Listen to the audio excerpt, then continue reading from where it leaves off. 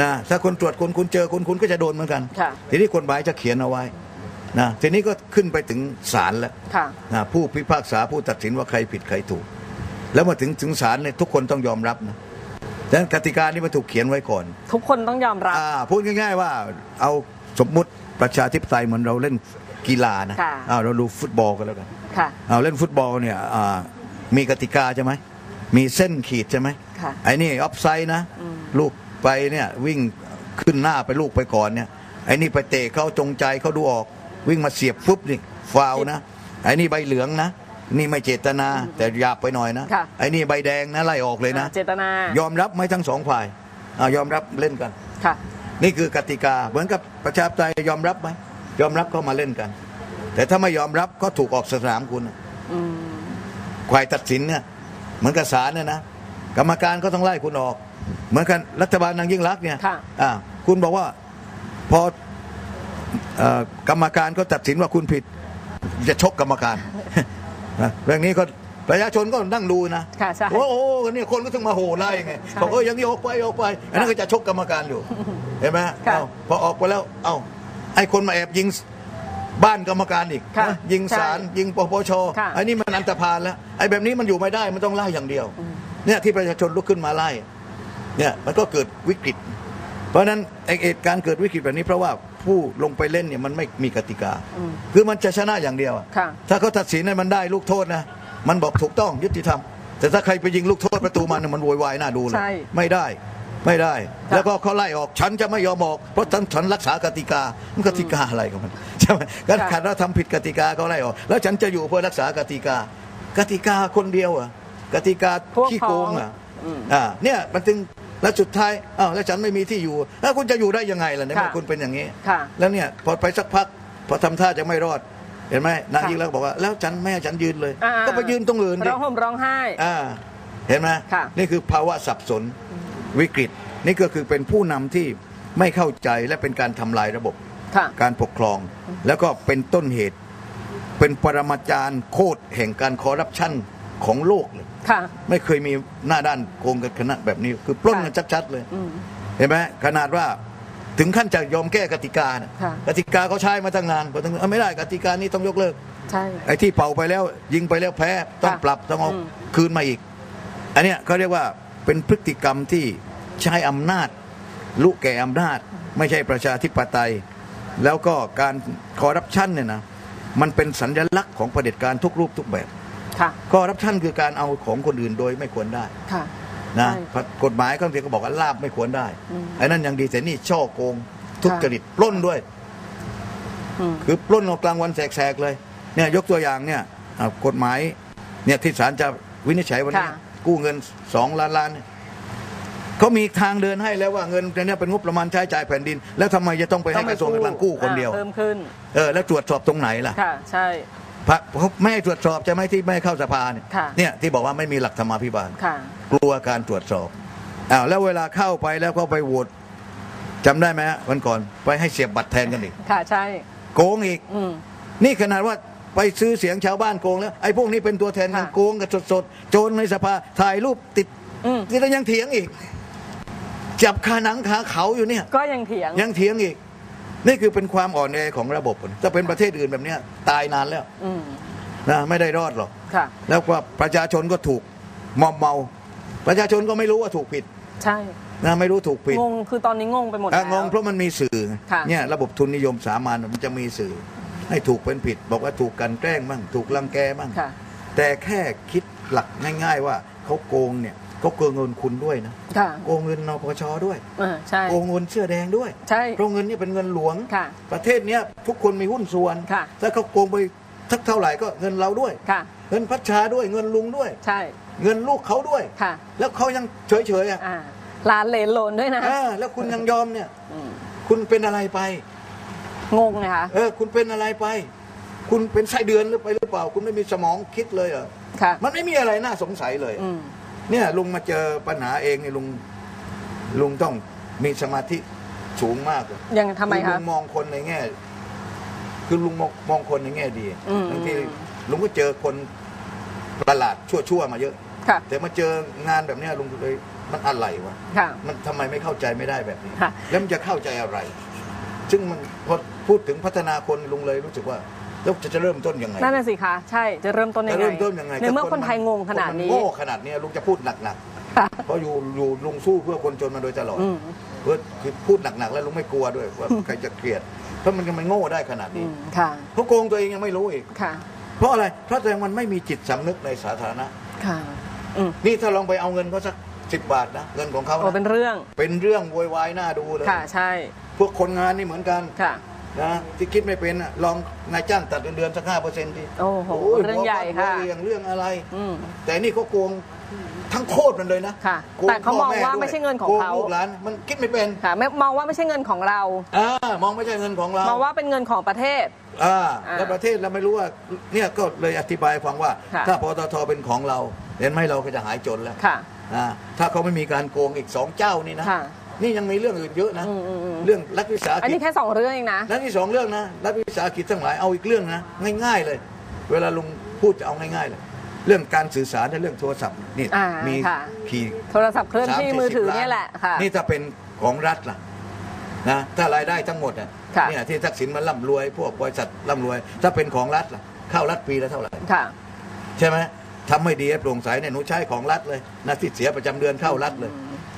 นะเอาละให้เอกชนเข้าไปทำแต่รัฐเป็นคนคุมไม่ใช่เอาบริษัทนู้นไปรับเหมารับเหมาค่ะนี่นะไอ้กสทชเห็นไหมวิ่งแย่งคลื่นกันใหญ่ใช่ถ้าคลื่นเนี่ยเป็นของรัฐล่ะค่ะ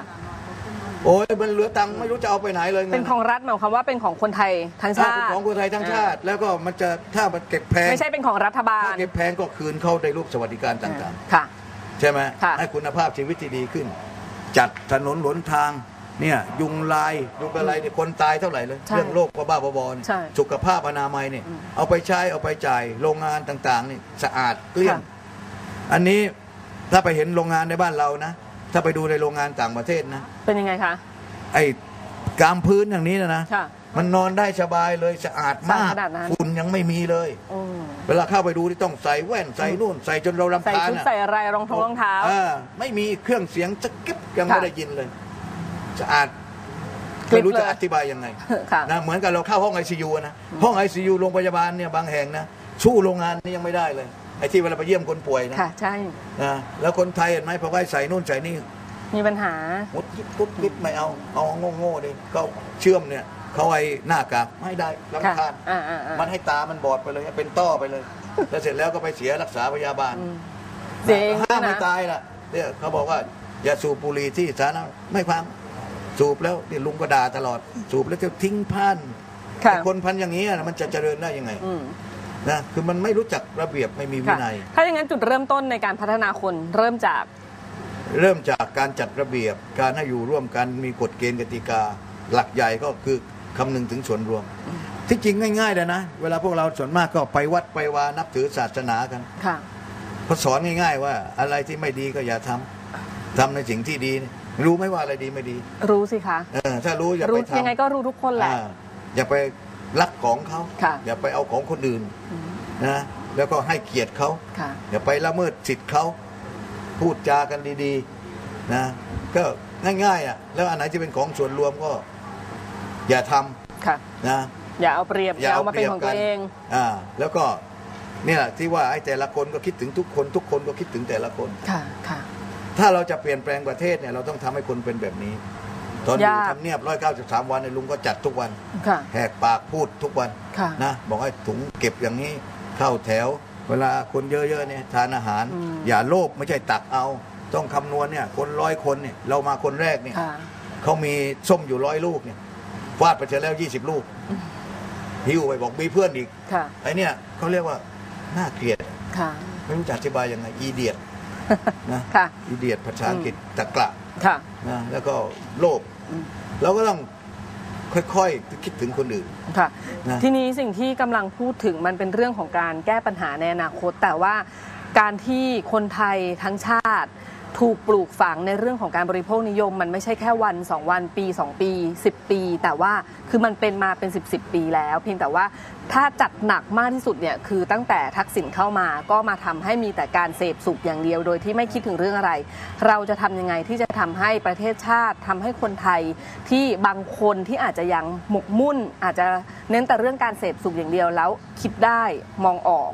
ก็เราต้องฝึกนะอันเนี้ยอย่างที่เราเวลาเราชุมนุมใช่ไหมการชุมนุมหลาย ๆ เดือนนี่ก็เป็นผลดีนะยังไงคะอ่าเป็นผลดีคนก็ขัดเกลาเปลี่ยน เพราะเรามีกติการ่วมกัน เนี่ยต่างคนต่างมา แต่เรามาอยู่ร่วมกันทุกคนก็เคารพนะนี่เรามาอยู่มหาดไทย ทุกคนค่ะก็เคารพกติกาที่อยู่กันเนี่ยนะแต่ว่าบางครั้งเวลามาบางทีบางพวกก็เอ่อไปงัดนู่นงัดนี่อ่าเราก็จับได้ก็มีเล็กๆน้อยๆแต่พวกที่อยู่ที่นี่ยังไม่เคยมีเลยค่ะเห็นไหมทุกคนรู้นะทุกคนรู้เข้าใจ แล้วก็ความเป็นระเบียบมีการวินัยช่วยกันดูช่วยกันทำความสะอาดค่ะนะทุกคนก็ช่วยกันทำเอ่อก็จะทำให้การอยู่รวมกันเนี่ยจะเข้าใจมากขึ้น คือยึดประโยชน์ของส่วนรวมนะและก็โดยการปฏิบัติอ่าเวลาอ่ามีกิจกรรมนะเราจะไปนู่นไปนี่พอรู้ว่าตำรวจจะมาบุกหรือว่านักการเมืองจะมาพวกเรารู้สึกจะแย่งกันไปนะอืม เออไม่ใช่กลัวเว้ยมึงมาเดี๋ยวกูไปเอ้ยใครไม่ไปจะโกรธอีกค่ะอ่าเออ แล้วก็แบ่งกันไปเนี่ยเราอยู่เนี้ยเอ้ยไปทุกคนจะไปหมดไม่ได้ก็ต้องเฝ้า ค่ะใช่ต้องเฝ้าฐานต้องออกไปสู้ ค่ะ เนี่ยมันจะเป็นไปอัตโนมัติ แล้วก็ก็สลับกันไปอืมเนี่ยบางคนก็กลับบ้านเอาใครค่ะไปกลับ เดี๋ยวพอคนกลับก็มีคนมาเปลี่ยน นะก็อยู่กันอย่างเนี้ยมันเหมือนกับเป็นระบบแต่ไม่มีเงินเดือน ค่ะไม่มีอะไรเลอืมยไม่มีค่าตอบแทนให้อะไม่มีอะไร แต่ว่ามีแต่น้ำใจมีแต่ความเอื้ออารีสุดค่ะ ท้ายมันก็อยู่ด้วยกันอยู่ด้วยกัน แล้วก็มีความรับผิดชอบร่วมกันว่าอ่าถ้าเราไม่ชนะเราก็ไม่ออกค่ะอ่าเราก็ยอมสู้กันอยู่ที่นี่ ค่ะ แล้วเราถือว่านี่คือเส้นทางที่จะมีการเปลี่ยนแปลง และเมื่อมีการเปลี่ยนแปลงแล้ว เราก็เอาสิ่งที่เราอยู่ร่วมกันหลาย ๆ เดือนไปขยายผลว่าถ้าไปในหมู่บ้านไปในสังคม เวลากติกานี่ถูกเปลี่ยนประเทศ คนที่เคยต่อสู้ ถ้าเป็นคนส่วนใหญ่ มันก็จะเปลี่ยนพฤติกรรมนะจากการที่ให้ความรู้ให้การศึกษา ต้องผ่านสื่อเหมือนกันพอเปลี่ยนรัฐบาลก็ต้องใช้สื่อพูดใหม่ค่ะไอ้บริโภคนิยมต้องเปลี่ยนค่ะอันไอ้ประชานิยมต้องเปลี่ยนอืมต้องเอาเศรษฐกิจพอเพียงขึ้นไปทุกวันเลยค่ะเอาจริงเลยทำจริงเลยค่ะแล้ววันนี้ก็มีหลายชุมชนหลายหมู่บ้านนะครับที่เขาทาอยู่ได้ค่ะเอาคนเหล่านี้มาดูเลย แต่ไม่ใช่ไปนั่งพูดพูดแล้ว ไม่รู้จะทำยังไง ค่ะ แล้วก็พูดตัวเองพูดอย่างแต่ทำอีกอย่าง บอกเพื่อนว่าพอเพียงแต่ตัวเองโลภเห็นแก่ได้ค่ะจะเปรียบเพื่อน ค่ะ มันไม่ได้มันต้องทำให้เหมือนกันหมดค่ะ อ่าถ้าสักพักมันก็เปลี่ยนได้ ค่ะ ทีนี้คำว่าพอเพียงที่คุณกำลังพูดถึงอยู่ มันจำเป็นไหมที่แต่ละคนจะต้องพอเพียงในระดับที่เท่ากัน หมายความว่าคนรวยก็ไม่สามารถที่จะซื้อของแพงใช้ได้ คนจน คือซื้อไม่ได้อยู่แล้ว เพราะว่าส่วนหนึ่งอาจจะไม่มีเงิน ส่วนหนึ่งก็อาจจะมองชัดเจน เห็นอยู่ว่าตัวเองไม่สามารถซื้อได้คำว่าพอเพียงจำเป็นไหมที่ต้องเท่าเทียมกัน เออมันไม่ไม่ไม่ไม่ไม่ใช่หมายความว่าอย่างนั้น ค่ะคำว่าพอเพียงเนี่ยเท่าเทียมกันเป๊ะๆนี่มันไม่มีในโลก อืมค่ะ และเป็นไปไม่ได้ แต่ว่ามันจะมีความเท่าเทียมกันอย่างในขั้นเริ่มต้นของชีวิต ก็เรียกว่ามีโอกาสเท่ากัน เช่น ถ้าเราเอาเงินที่ไม่โกงทุจริต แล้วก็เอาทรัพยากรเรื่องอ่า พลังงานหรือรัฐวิสาหกิจอะไรที่ทำรายได้เนี่ยนะรายได้แล้วส่งมาเป็นของกองกลางนะครับเพื่อมาจัดสวัสดิการก็สองอย่างคือเปิดให้ทุกคนเนี่ยได้เรียนฟรีค่ะเนี่ยทุกคนเนี่ยถ้าได้เรียนเนี่ยจบด็อกเตอร์กันหมดนะพวกนี้ถ้ามีเรียน แต่ที่ที่จบป .4 เนี่ยเพราะไม่ได้เรียน เพราะไม่มีตังค์ส่งใช่นะแล้วถ้าได้เรียนพวกนี้ก็จะมีโอกาสเขาจะเรียนศิลปะเขาจะเรียนเศรษฐศาสตร์เขาเรียนสังคมการเมืองวิศวะหมอ ให้เขาได้เรียนค่ะเขาไปหมดอะอืมนะทีนี้ด้านหนึ่งก็ด้านสุขภาพ ก็ต้องดูแลเขานะเช่น มันต้องดูแลอย่างละเอียดอะอย่างประเทศที่เขาเจริญแล้วเนี่ยอ่าเช่นคนคลอดลูกเนี่ยเขาว่าอยู่ตั้งปีหกเดือนนะค่ะเพราะคุณต้องให้ลูกคุณกินนมอืมอืมอืมนมที่มีคุณภาพคือนมแม่อืมค่ะแล้วแม่คุณก็ต้องฉลาดค่ะไม่ใช่สมัยก่อนเนี่ยรุ่นผมเนี่ย แม่ต้องกินดินน่ะพอกินดิน บอกว่าเดี๋ยวคลอดยากค่ะรุ่นลุงนี่นะ ค่ะพอแม่ท้องนี่ต้องกินดิน ค่ะเกิดมาแล้วบอกว่าหมูเห็ดเป็ดไก่กินไม่ได้ เออ กินแต่พริกกับเกลือ เราถึงเริ่มจะฉลาดได้ยังไง นะแต่เดี๋ยวนี้มันก็ต้องกินยาจีนกินเป็ดตุนกินดีๆที่คนมันท้องอะ ค่ะ อาหารการกินต้องสมบูรณ์ แม่เนี่ยต้องอ่านหนังสือทุกวันตอนท้องลูกอะค่ะใช่เพราะให้ลูกเป็นนักอ่าน อ่าใช่ ไม่ใช่แม่โง่ปลูกฝัแล้วงไม่อ่านจะเกิดมาอ่าเป็นแบบนายกค่ะนางนายกนี่อีกอะนะฮะต้องอ่านหนังสือแล้วเด็กพอโตขึ้นมันก็เห็นหนังสือไม่ได้ ค่ะจะอ่านหนังสือใช่นะแล้วสุขภาพแข็งแรงมันไม่ป่วย ค่ะเมื่อไม่ป่วยเงินไปค่ารักษาพยาบาลนี่ก็ไม่มีค่ะไอ้นี่มากับปุกกับปะกับปอกกับเป็ดไข้นู่นไข้นี่ อืม กินก็ไม่รู้ว่าอะไรเป็นประโยชน์ไม่เป็นประโยชน์นะคือกินชอบกินไปตามอารมณ์ ค่ะ ไม่รู้จักว่าอะไรเป็นอะไร อืมดังนั้น ไอ้สิ่งเหล่านี้แหละครับอ่าถ้าทำให้คนเขาสองอย่างคือรักษาฟรีดูสุขภาพดีเนี่ย